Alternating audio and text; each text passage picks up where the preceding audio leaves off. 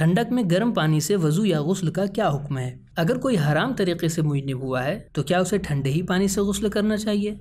बिस्मिल्लाहिर्रहमानिर्रहीम। वज़ू एक ऐसा अमल है जिससे इंसान का चेहरा नूरानी होता है। अब आप चाहे गर्म पानी से वज़ू करें या फिर ठंडे पानी से, दोनों ही सूरत में आपका वज़ू सही है। हती कि आपका वज़ू मकरू भी नहीं है। हाँ अगर आप ठंडक में नमाज़ सुबह के लिए वज़ू न करना चाह रहे हो और नमाज़ आप तयम करके पढ़ें तो आपकी नमाज़ सही नहीं है। इसलिए कि आप पानी गर्म करके नमाज़ पढ़ सकते थे। हाँ लेकिन वक्त कम हो और ठंडे पानी का इस्तेमाल आपके लिए नुकसान नुकसानदेह हो तो आप तयम करके नमाज़ पढ़ सकते हैं। बाज रवायात में ज़िक्र हुआ है कि वो पानी जो सूरज की गर्मी से गर्म हुआ है, उस पानी से वज़ू करना मकरू है। यानी अगर आपने ऐसे पानी से वज़ू किया तो आपका वज़ू तो सही है, लेकिन सवाब में कमी आ जाएगी। लेकिन हाँ ऐसे पानी के बारे में कहते हैं कि इस पानी से वज़ू करना उस वक्त तक मकरू है, जब तक वो पानी गर्म रहे। लेकिन जैसे ही ये पानी ठंडा हो जाएगा, अब इस पानी से वज़ू करना मकरू भी नहीं है। यानी आपको वज़ू का पूरा सवाब मिलेगा।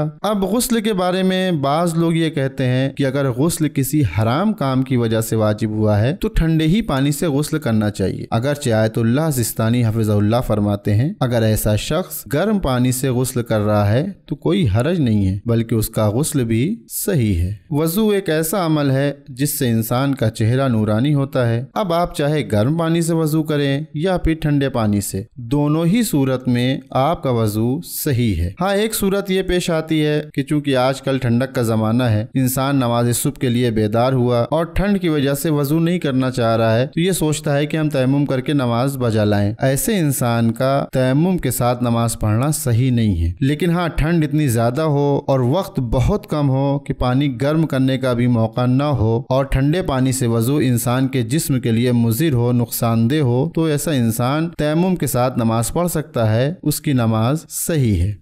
दोस्तों, हमारी आपसे गुजारिश है कि आप हमारे चैनल को ज़रूर सब्सक्राइब करें, अपने दोस्तों को, अपने रिश्तेदारों को और दीगर मोमिन को भी इस चैनल को सब्सक्राइब करने की दावत दें। और अगर आपके जहन में कोई सवाल मौजूद है तो आप यहीं कमेंट बॉक्स में अपने सवाल को पूछ सकते हैं या आप हमारे दिए गए इंस्टाग्राम पेज पर भी अपने सवाल को पूछ सकते हैं। अगर आपका पर्सनल सवाल है तो आप हमारी दी गई ईमेल आईडी पर, कि जो यहाँ पर मौजूद है, पुरानी आईडी हमारी डिलीट हो चुकी है, लिहाजा इस नई ईमेल आईडी पर आप अपने सवाल को भेज सकते हैं। अगर आप हमें हेल्प करना चाहते हैं, मदद करना चाहते हैं तो पैट्रियन के ज़रिए से मंथली मेंबरशिप हासिल कर सकते हैं। पैट्रियन के लिंक डिस्क्रिप्शन में मौजूद है।